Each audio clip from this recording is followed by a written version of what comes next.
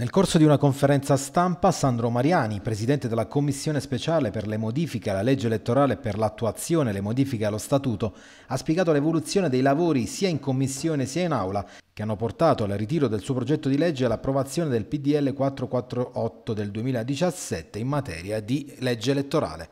Io ho detto fin dall'inizio che avendo assunto la guida della commissione pochi giorni fa, il 17 luglio, ho fatto una proposta che sono abituato a lavorare a testa bassa e la mia proposta era quella di alzare la soglia di sbarramento, eh, come accade oggi in Senato, perché trovo eh, veramente assurdo che eh, ci sia il proliferare di numerosi partiti, numer- numerose realtà eh, che poi in Consiglio regionale rappresentano porzioni molto ristrette di territorio. Ho detto fin dall'inizio che il percorso eh, andava a buon fine soltanto se eh, ci fosse stata condivisione e così non è stato e quindi io ho ritirato il progetto di legge come promesso all'inizio della discussione. Ho voluto naturalmente